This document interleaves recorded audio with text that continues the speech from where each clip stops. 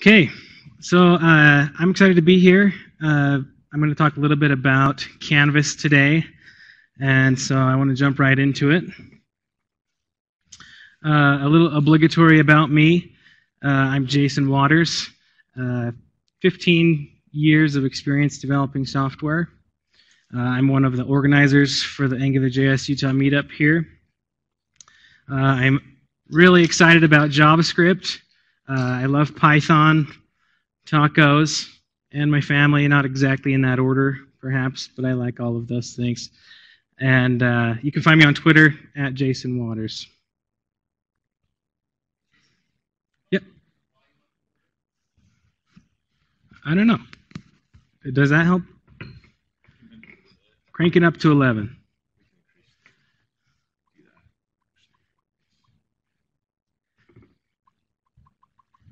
Hello? Better? Okay. So I want to apologize up front. This talk is not about Angular. My deepest apologies. I hope that you'll take the next 30 minutes with me and indulge in a little vanilla JavaScript. And then Maureen will take you through a journey of Angular again. So, Canvas. What is Canvas? Well, as we can see here, it's white, rectangular, waiting for you to paint onto it. Actually, it's just like that in uh, HTML5 as well. Just like true to life, it's waiting for an artist to leave his mark uh, or a programmer to script something beautiful.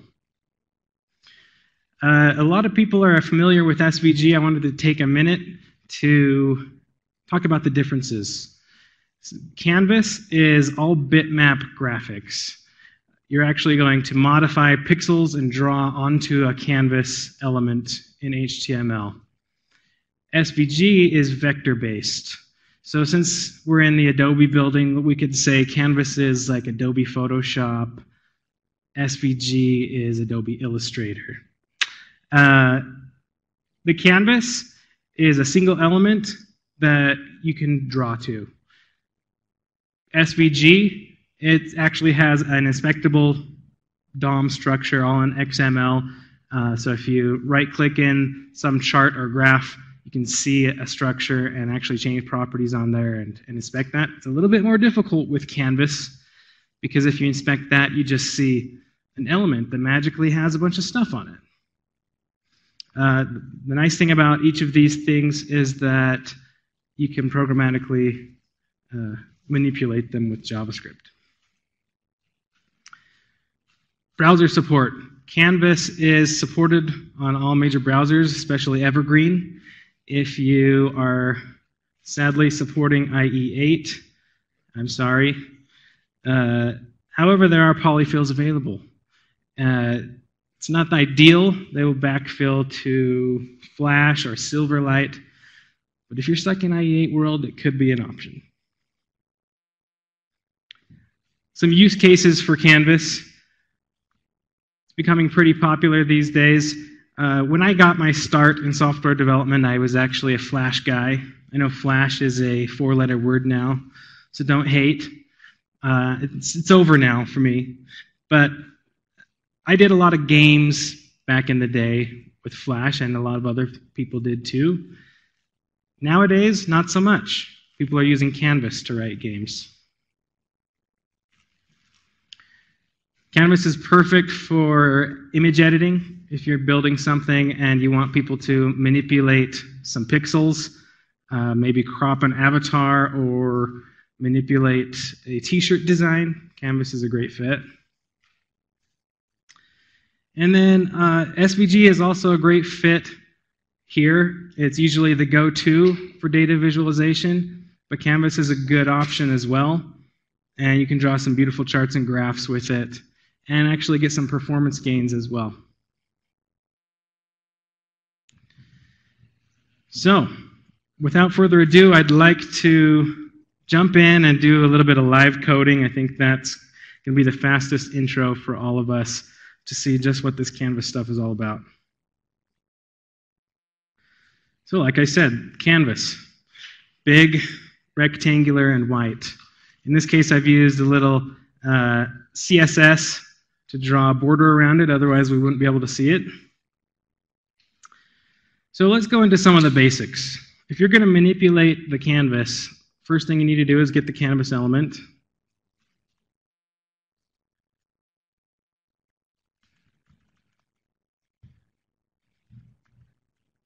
Can everybody see that okay, or is it too small?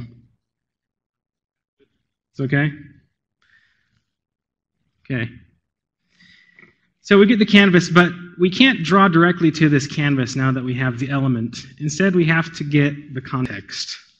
So we can do that by saying canvas get context. And this takes a parameter. So you can put in, what we're going to do today is, and it has to be a lowercase 2d, we're going to get the 2D rendering uh, context of the canvas so we can draw two-dimensionally. You can also put in a WebGL, for example, and do some 3D rendering. I'm not going to talk about that today, but there's a lot of good resources you can look at later, or maybe a future uh, speaker. So we've got our context. I think the first thing anybody should ever draw on a canvas when they're starting out is a rectangle. So let's do that. Oops. So if you do fill rect, then you pass in an x and y coordinate and a width and a height. Now I should note that in a canvas there is a coordinate system, and in the top left is where 0, 0 is. So the bottom right in this case, I didn't point out in my HTML, but I've instantiated, I've defined the canvas with a width of 400 and 400. So that's what the bottom right corner is. So if I say fill rect 0, 0, 100, 100, boom, we've got our, we've got our rectangle. Yes. So uh, once you've drawn something, oh, by the way, it's a little boring. So let's say context dot fill style, and this will take any CSS valid um, color. So you can put in a hex code. I don't speak hex very well, so I'm just going to say, how about that one? There we go. So it's kind of interesting because you, it's like if you're thinking about a real life canvas, it's like you've got a paintbrush, you're going to dip it in the red paint, then you're going to fill. And that's what we did here. So when you have a something drawn on the canvas, the next obvious thing to do is to clear the canvas, right? Do that easy enough. Clear rect. I'm just going to put some magic numbers in here. And there we go. So in this case, it drew the square and then it cleared it. Let's pull that out and make it a function.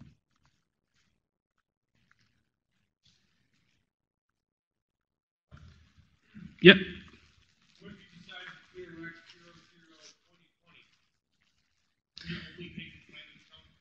Yep.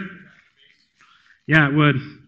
For the sake of time, I won't do it, but you can you can clear just a portion.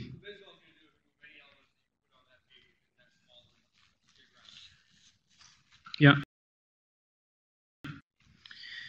So we've drawn a square and we have cleared it. I think the next thing, let's let's move up the compl the complexity here.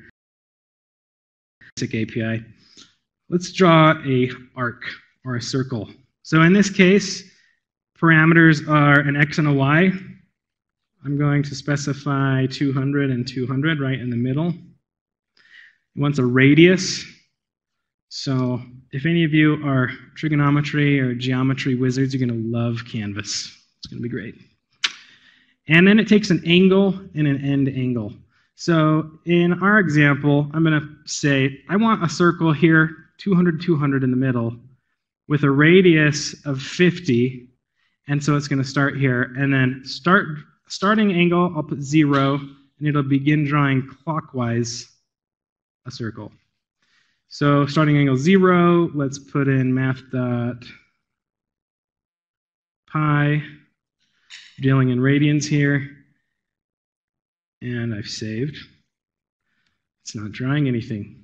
Actually, it did do something. It plotted that arc on the page, but it's not visible to us because we have to do context.fill. So there we go. We've got a semicircle, and it did go in the, in the clockwise direction, just like we said, from 0 to pi. It, the last argument here is anti-clockwise, so we could say true and see that it draws a circle the other way, a semicircle. So in this case, let's do 0 to 2 pi, and now we've got our circle. And of course, we can change the fill style.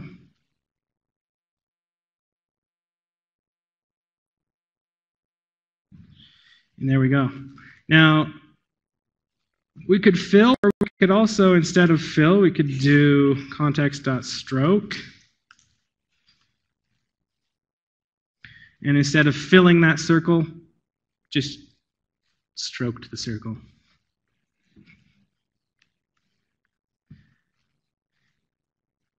And another thing to point out is if I take out this clear, let's change this to be um, 300 and 300, so our square is a little bit bigger.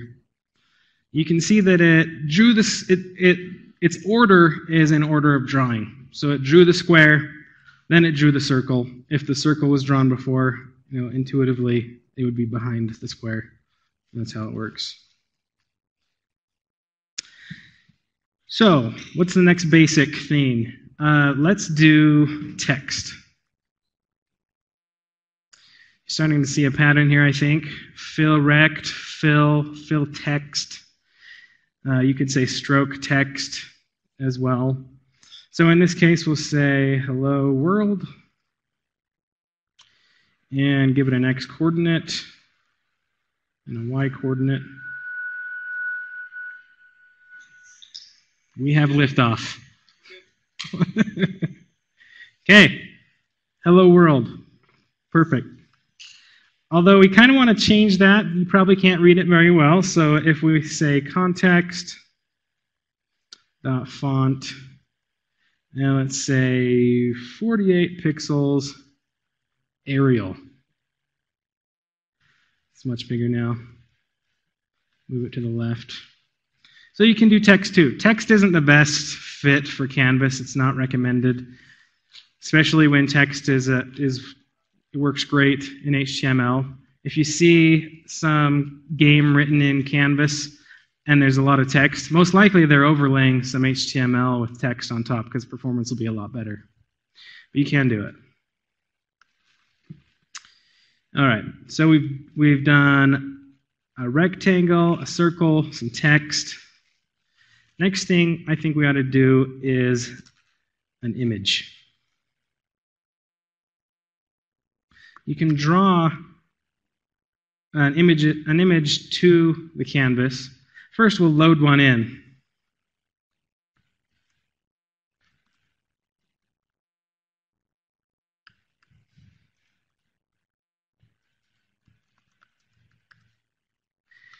Okay, so I'm going to put an on load. So when this image is loaded, then we'll tell the context to draw image.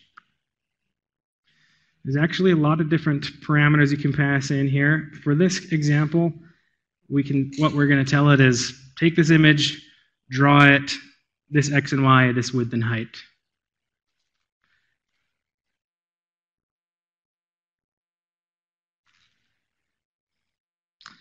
JK. What did I do wrong here? Oh, yep. You have to specify the image. I'm surprised you guys didn't catch that for me. There we go. We've got our plumber.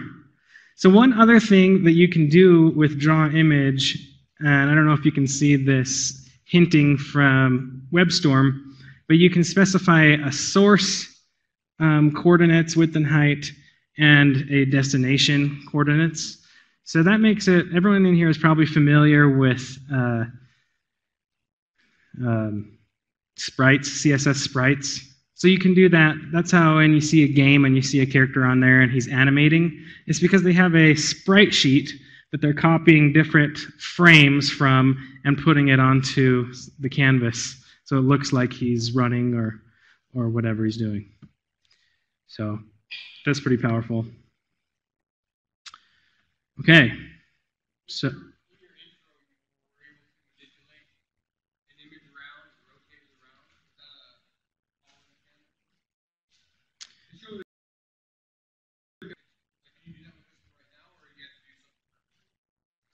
Uh, yeah, but I didn't prepare that for the demo, so that's some personal homework for you. Yes, you can. you know what? I'm going to clear this because I just remembered that there is one more thing that you can do. Oops. Oh, it's drawing Mario on top because of the onload. Cool. cheat. Okay, so uh, you can draw a path. So if we do context dot begin path, we're, we're about to tell it, let me give you a little more space here, that we want it to kind of freehand draw something. So begin the path, context, uh, you'd think it would be end path, but the API designers were way smarter than me, so they called it close path. Makes perfect sense. So now if you imagine, uh, I'm saying begin path, I want you to take a pen onto this canvas and start to draw. So first, move the pen to a certain coordinate. So context move to, and let's put in 200, 200. That seems to be my favorite. So I'm saying go to the center and then do something. And then I'm going to say start drawing a line. Do a line to coordinate 300, 300. So it's going to start in the middle, go down and to the right, then do another line, and we'll say uh, back to 200, 400y, and of course we have to do context.fill again.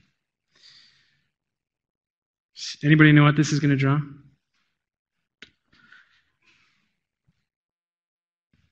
Apparently nothing. That's cool. What? Oh, I bet you it cleared it because of this. I'm going to just.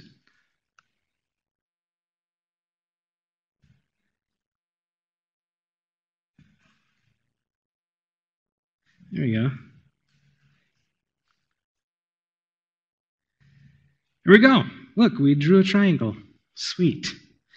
So that's how you can actually draw all kinds of creative, crazy shapes using this pattern you specify a path, and then you plot a bunch of different coordinates for it.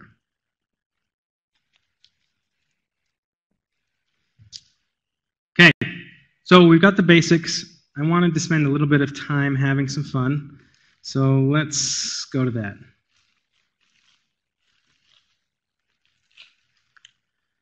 We're going to build a little something this is something I might have built in high school or something. It's to amuse myself, so it'll be useless but exciting. Uh, you can see that I've done a little bit of setup.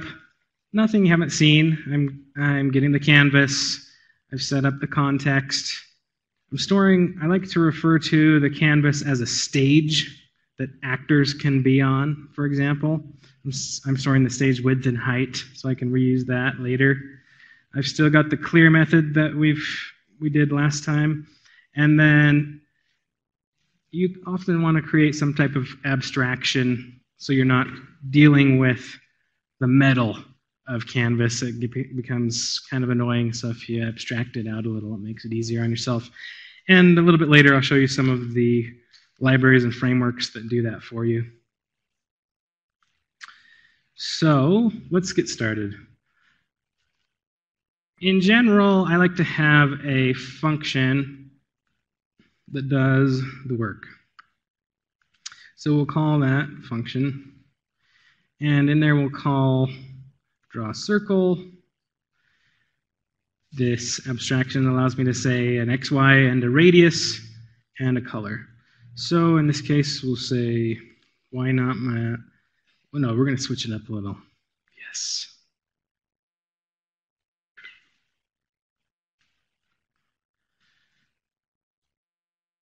Okay.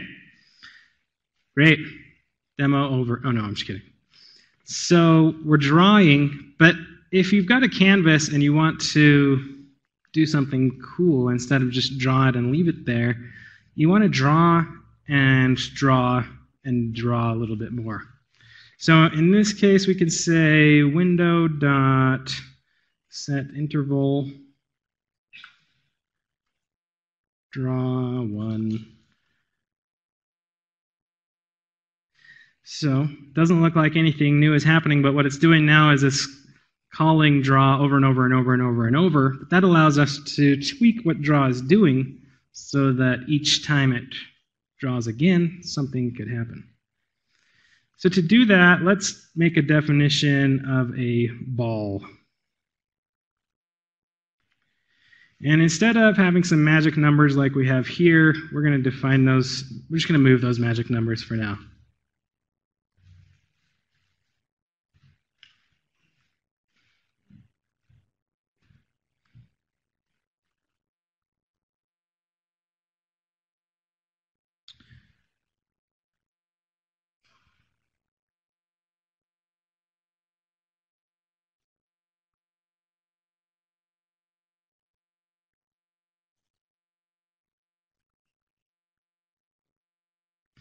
Okay, great. We can see a lot of progress here, can't we? So it's drawing. One common thing that you do if you're building a game, for example, or any type of animation, is you start dealing with velocities and accelerations. So I'm going to have this ball store its own velocity. So I'm going to say x velocity is 1, y velocity is also 1. So in a positive direction, technically it should move there. So we can say draw the circle and then do um,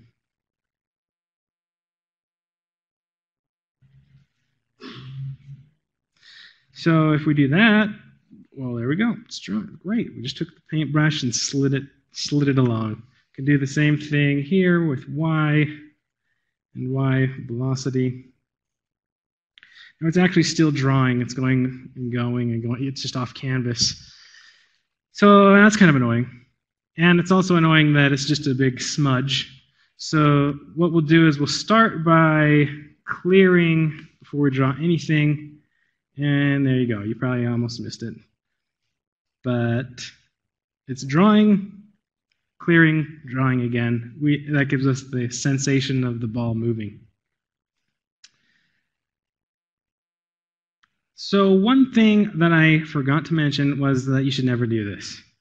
Set interval is a bad idea in this case. It's, not, it's really inefficient, and uh, you're probably going to draw and update way too much, way too frequently. So, there is something else that browsers can offer us now,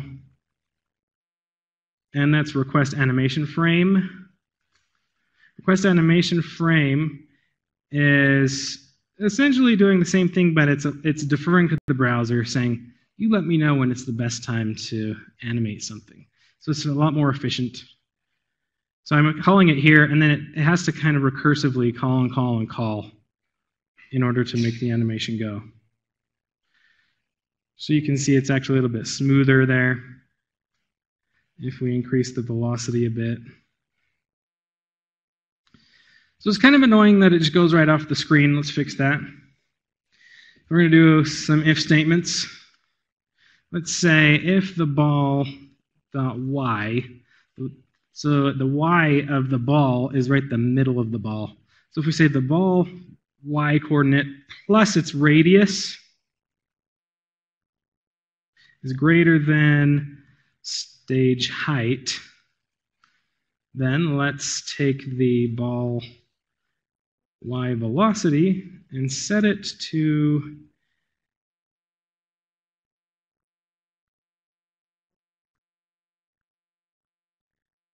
negative ball velocity. There we go.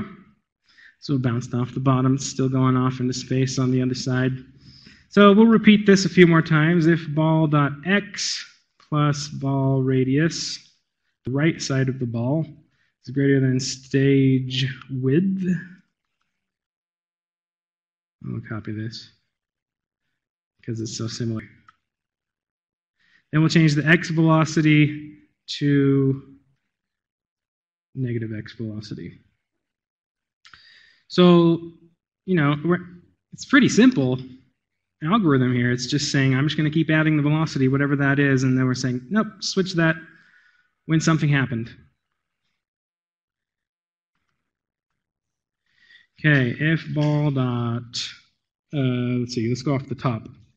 So if the ball y minus the ball radius is less than zero, ball dot y velocity equals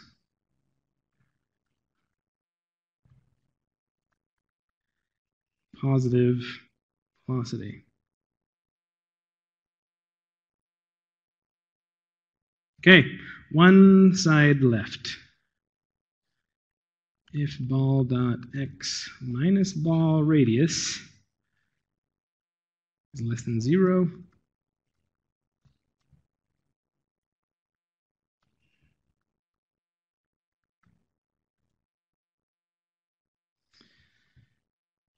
All right, let's see if it worked. There we go. Bouncing ball. Everything that dreams are made of.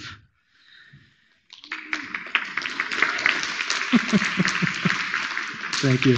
There's more. There's more. It's, it's going to be great. It gets better. Okay, so this is kind of annoying. I mean, what if I want more than one ball? Well, I could just copy and paste about 15 more times, right? Or we could do something cool. So what I'd like to do, ideally, is say new ball, for example, up here, and then down here, every time it gets through this update loop, we'll call ball.update and ball.draw. This is actually a very common pattern if you're building a game uh, like this, because this is a game. Uh, where the update method is going to update the state of the object. The draw method is going to deal strictly with drawing it. So order, this is not going to work yet. So what we'll do is we will change this to a function. And let's see. I'll replace a few things.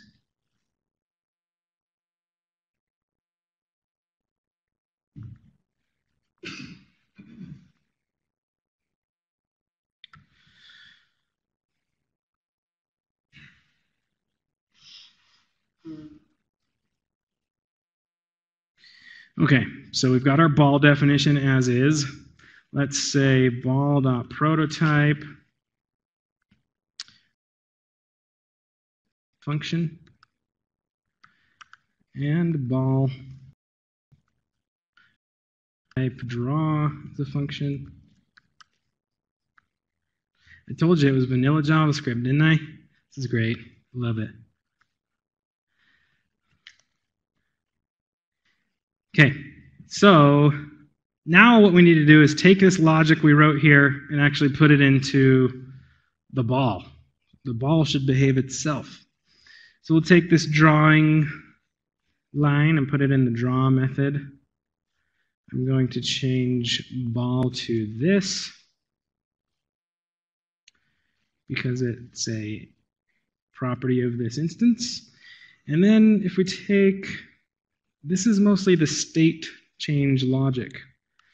So we'll pull that out of there as well.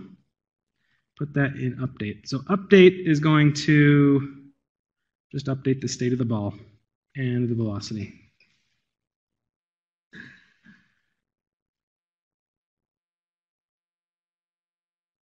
This is refactoring, guys.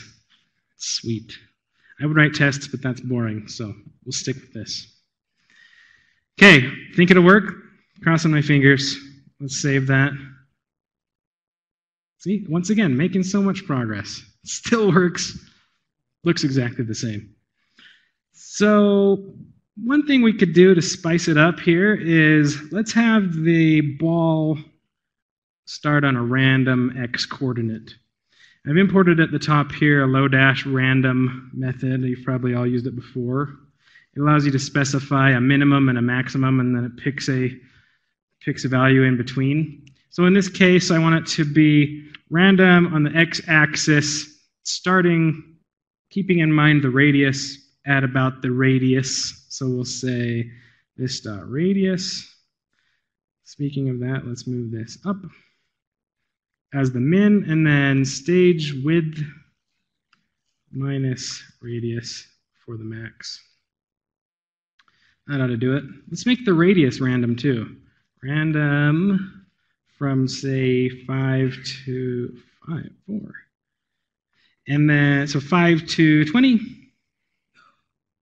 We'll see if that did anything. Look at that. It's a small ball. Nice. So we got something going on. Let's do the same treatment for the y coordinate.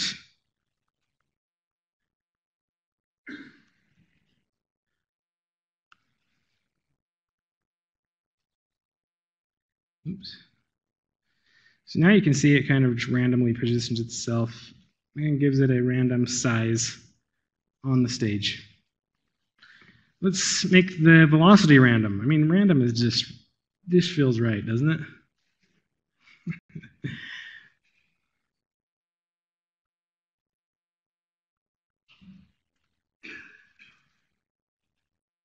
wow, it's too fast. 2 to 10. 2 to 8. I mean, I can't take the speed, guys. Okay, and then lastly, I have written a, oh, you know what? I also wrote another thing, um, random negative. This is, so what we had before was it would always be a positive random x and y velocity. Passing in this little random negative multiplier, it's going to give it a random negative. Maybe it will be negative, maybe it will be positive. And so the ball could potentially go in, in and see how it went to the left that time? Tr truly random. And then orange gets a little dull. So get, what did I call it? Random, course. Random hex color.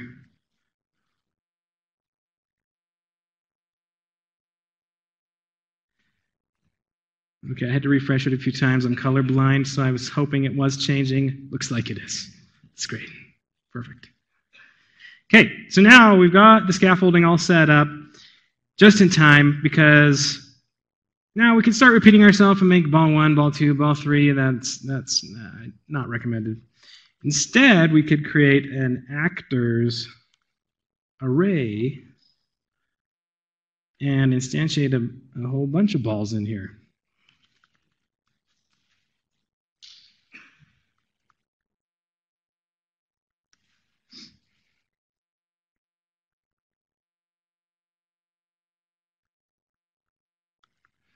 And then down here we can say um,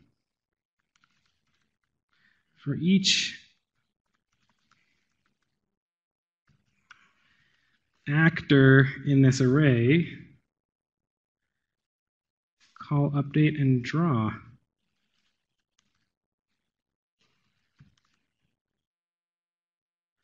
And there we go. Look at that.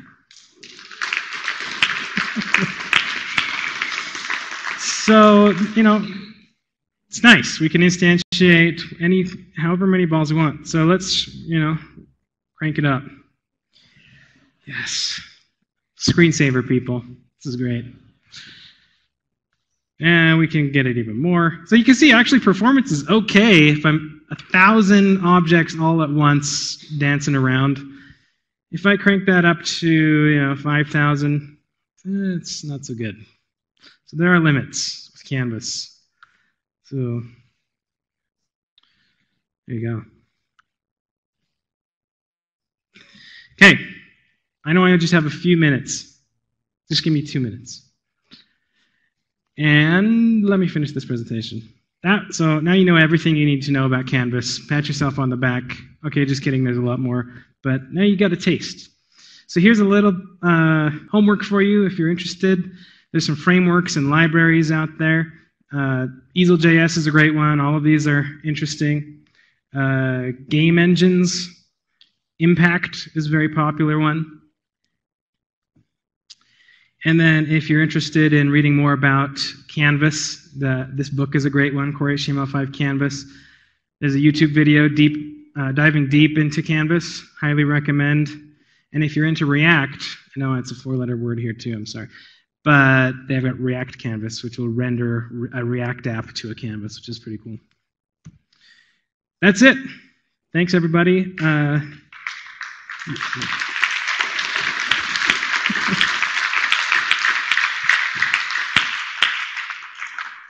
Uh, these are the URLs if you want to get these uh, this slide deck, a bit.ly link there, so you can get to all those things I skimmed over. And if you'd like to toy around with the example that I just built, you can find that on my GitHub. I know we're out of time, but are there any quick questions before we end? Okay, thanks everybody.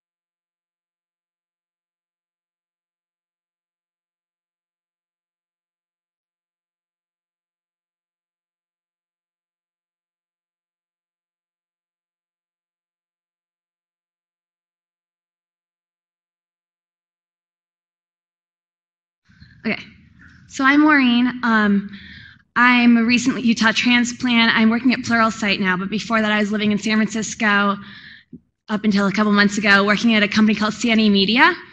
And when I was at my company, we basically decided to rebuild everything that we had. The company had been around since 96. They had a bunch of junk. They're like, okay, cool, let's scrap it all. Let's rebuild it all. But for my component of it, they gave us no design resources. So I had this team full of, it was, I'm a JavaScript dev, and there was two other uh, Java devs um, writing a brand new thing in Node with no designers. And we were told, okay, make it work like the old one, but prettier. And what did prettier mean? We weren't really all that sure. So we looked into options. We'd already decided on Angular as our front-end technology, and we came across Material, which is Google's design framework uh, that they use to, uh, that they have created to have a unified style experience across different platforms. And since integrated well with Angular, it seemed like a good choice. And so that's kind of my caveat of like, a lot of designers aren't designing for material. It kind of only makes sense if you have, um, if you want to make something look good without needing to put in that much time into design work. So what Angular material would be basically just an Angular implementation of the material design um, design practices. So it provides a set of reusable components, um, services, and directives for Angular that can be used uh, to implement the design practices. So I am starting off with a little brief overview of material design. There's obviously a ton. The design docs are super good. Um, and so you can look into those. Uh, but this just so you have a little bit of an overview of what's going on. The basic principles of, of material are that it was based around pen and paper. So you have this sheet of paper it exists. It has a physical space, a physical presence. It can't move through other elements. Uh, the ink on the page is there. It's not going to like automatically disappear without some kind of reason to do so. There's also a focus on bold icons and bold designs uh, with this with the design principle around print print practices. Just like you'd not put up a flyer with black black text on a white sheet, no one read your flyer. You want it to be bold, you want it to be exciting, so their icon practices are involved in that. And then also in material, all motion has meaning. So how many times have you loaded a page and like this falls in from over here, and then there's like this little swivel here, and you're like, but there's still principles of gravity that should exist. So in material, like something might spark an action over here on the page, and so that action will move up from that corner. It won't just come in magically from somewhere else on the screen. So all the motion has meaning triggered off of your practices. So similar to that, there's an XY. This is for an Android phone, obviously, but um, the Angular applications for web. Um, but they have the X, Y, and Z coordinates. Every material or every element that you create has a depth, but the depth is always one deep pixel. So it's always a fixed depth, and it'll have a height off the page, and the shadows will be according to that height. This, the sun is always from this side, so the shadow is according to that, and how high it is is the size of the shadow. And the cool thing about um, Angular material is that if you create the elements using their system, it does all those shadows for you because no one really wants to write every little CSS line to create a bunch of shadows for a bunch of different heights and all of that. So that's all done.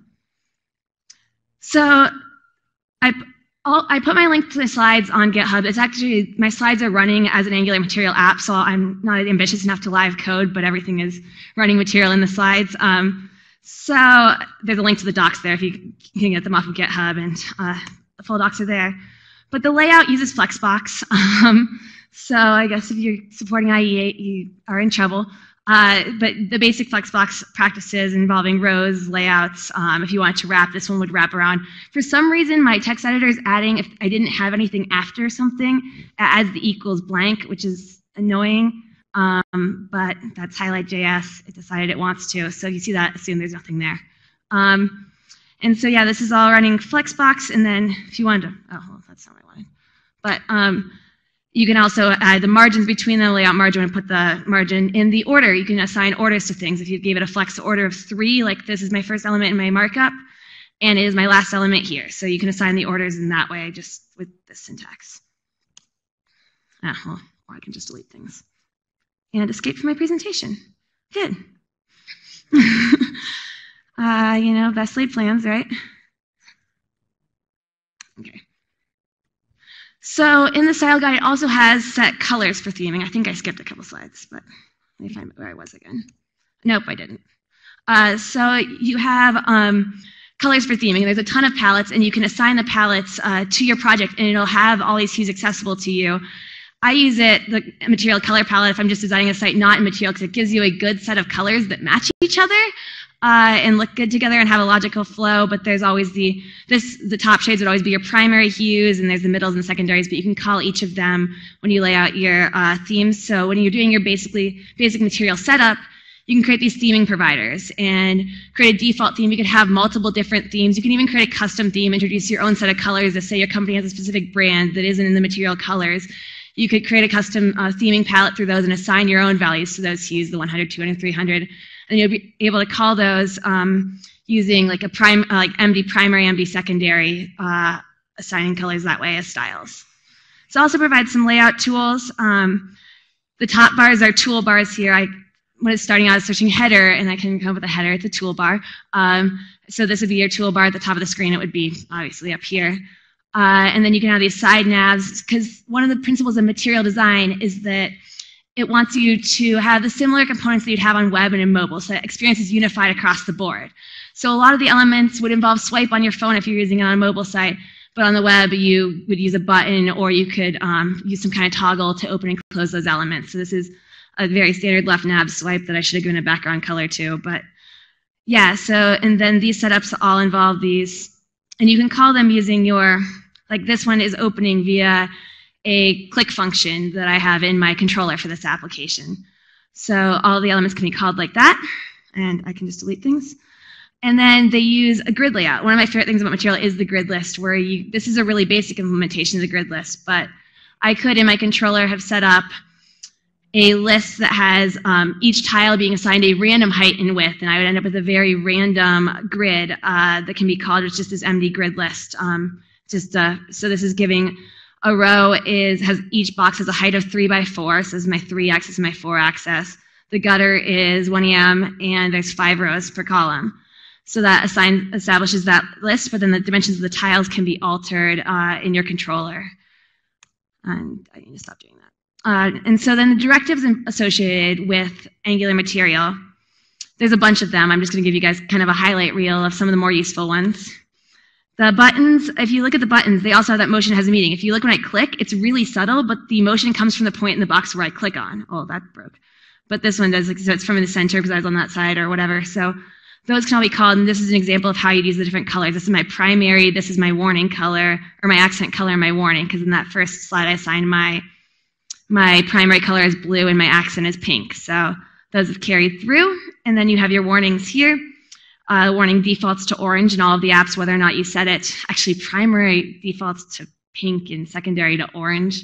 I'm not sure why those are really abrasive colors, but um, they do. And so, yeah, all the buttons are set up like that, and they have the little click actions on them. And you can also have a solid box or a box with a border, whatever. There's material calls for all of them. This is the basic implementation. Inputs, there's a bunch of cool inputty stuff. Uh, all the inputs do this unless you're using an autocomplete input and then it looks really different and i'm not sure because the autocomplete one in my mind looks a lot better uh, it involves like your more of your standard input box with the rounded edges. This one if you have it on a black background a big limitation is these ones on a black background look like a floating line you're like okay what do i do with that?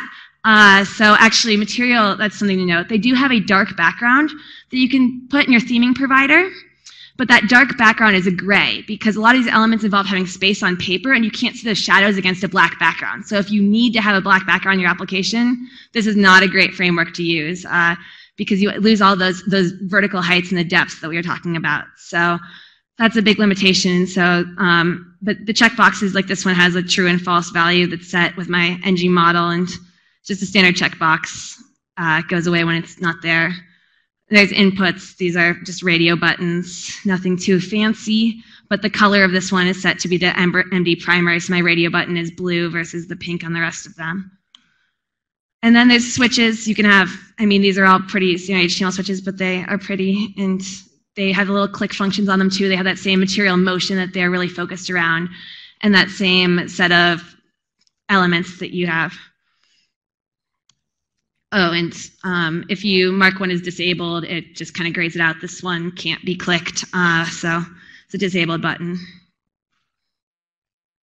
Lots of progress indicators. Uh, you can set all kinds of different things on these. Maybe you want it to buffer along a certain range, value of 30, like in this one, it would know what, what value complete was and it would load along that range.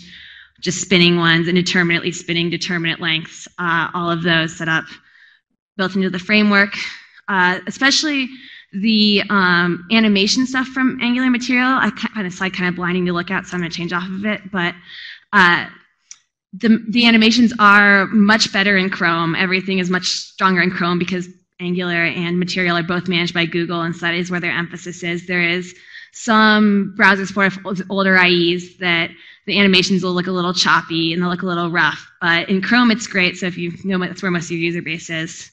Makes a lot of sense for that. So then things, little services and the applications involved with those. So there's the bottom sheets, which you see a lot in your phones. People have their social icons down here. This is a really lame one.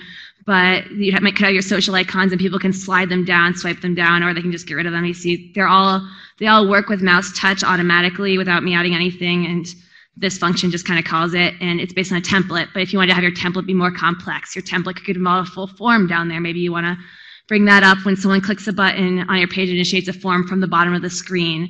So those bottom sheets are really useful for that. Uh, uh, the alerts are actually a huge plus. Um, for some reason, this JavaScript framework I used didn't carry my font over when I um, did this, and honestly, I just didn't debug it. But the inputs are nice. Uh, they automatically open and close from uh, like in a normal fashion. They have some preset styling. You can incorporate a lot of different elements and, and they can chain. You could have one alert chaining to another alert. This one's just calling the show alert function, but it can be a promise in, in the promise chain. It can then further call a another alert. Maybe you say yes or no and it pulls up a form according to what you answered next or whatever your actions are, or you can initiate a bottom sheet based on what they did, or another series of the Angular events in promise chaining off of these form events, um, or alert events. There's this is just a basic alert uh, dialog, but there's also a yes or no kind of one that's default out of the box. And then you can standard, you can custom write any of them uh, if you don't like, if you don't, if you want something more than just an alert or a dialog. then you can custom write any of your templates, use them to convey information. Maybe you click on this thumbnail and it brings up a larger version of the thumbnail. You can use alerts for any of that kind of behavior. And then toasts. I love toasts. I think they're cool. I didn't make them stack, but you could, if I had three toasts, they'd all raise each other up, and then you can have them close on timeouts. But they're kind of a different way to convey information that people are getting used to seeing. Instead of having a bar across saying 500 server error, you can convey that in a toast, and people can dismiss it, or giving the information you were successfully authenticated. And it's just a little bit of a different way to uh, portray information. If I want to put an X button here to close it out, that would be an option, or this one automatically closes. Um, I think my, it's set up to be five seconds, uh, maybe less, that seems less. But so those are all set up that way um, to open and close, and they can stack and they can nest. Uh, and there's a bunch of different types of them. You can actually write your own service to convey toast. So maybe you have an error handling service to like send toast based on that 500 error, 400 error, uh, a success event, uh, create, break that out into its own service, and run all of your toasts out of that. So it'll automatically, maybe you're just calling mdtoast.success, and uh, it will automatically give you a green one that says, good job, you're winning. And so this is just a very, I think I talked too fast, but this is a very high level view of Angular material. Uh, and so there's obviously a ton more stuff involved in the documentation it's all pretty straightforward, reusable components, and I highly recommend if you're going to get started that you read the style guide first. I think one of the big cons of it is you can still throw together an ugly application using material. It's not hard. I've done it a million times. And so if you look through the style guide, it gives you information on everything from how to write your words. Like always say your account versus my account because the application doesn't have an account. Why does it why is it referring to its own account? And like little explanations like that for everything. How to design your icons, how to pick your colors based on your content types. Like crazy amounts of thought went into the documentation for this. And so it's actually super great. I was looking through and I didn't have a ton to present other than the stuff that they give you because they do it pretty well. Um, and so I'd say like major pros are you're able to convey information to people uh, in a stylized way that works across mobile to desktop without any input from a designer, without any need for that product side of it. Uh, but not every company wants that brand. If you do a full material app, it ends up looking like your Google inbox that's just the reality of it. I love it. I use it for everything. I like how my Google inbox looks. But that is something you should know is it's hard to avoid that kind of general style uh, with it. And black backgrounds are a huge limitation. Uh, my previous company, they loved black backgrounds. That was their brand. And selling them on, we should have a gray background. took me like probably as much time as writing most of the application. so I mean, it's a great framework. It's really reusable. The parts of it are reusable, and you can pick different, pick and choose. Like maybe you don't want to use the layouts and the headers, but you need the toast and the alerts. You can pick and choose what you take from it, and I think it's awesome. Does anyone have questions? I talked way too fast. I'm sorry. Yes. Yeah, I mean, any of Google's stuff does. Like if you've opted into Inbox or any of that, uh, we have uh, my, my previous company has a live video streaming platform that does kind of online education and teaching that's in material. Major other ones, not so much because major brands kind of don't want to be associated with Google's brand, from what I've seen, but.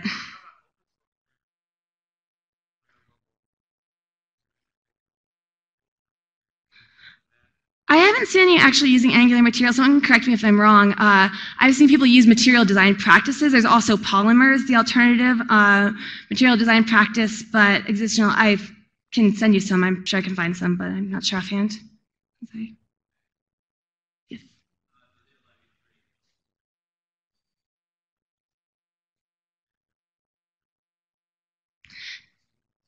No, it's kind of more of an all or nothing thing. Uh, you can obviously like strip out the CSS from material CSS file if you wanted to, but no, they don't have it broken up in components. It's you, you bring down material as a whole. Yes. Yeah, it is. Uh, my company mostly provides like the backends for different platforms. The only one I can directly link you to is an adult streaming service, so I don't think I should give that out loud. but uh, good cam girl site in Angular material. Um, but they have, they, I don't know if uh, other customers are using the front ends for it. yes. Does it work well with Ionic? I haven't actually ever tried. I can't speak to it, I'm sorry.